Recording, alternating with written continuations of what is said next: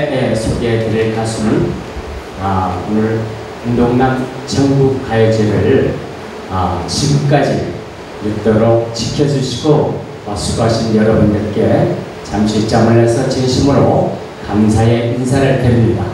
아, 앞으로 이런 공연이 앞으로 전국을 아, 다니면서 여러분들이 노래할 수 있는 기회를 발표하는 발표할 수 있는 기회를 계속해서 드릴 때에 여러분들이 스스로도 성장하고 또이 사회에 끼치는 문화적인 영향도 대단히 클 걸로 아, 믿습니다.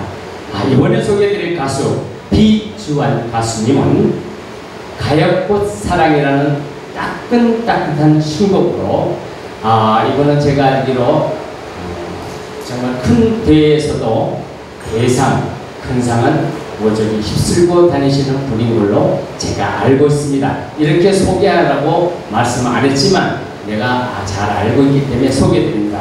자 이분이 이제부터 부르시게 될 가요꽃사랑 그리고 나이야 가라 여러분들 응원의 응원의 박수를 보내주실 것으로 믿습니다.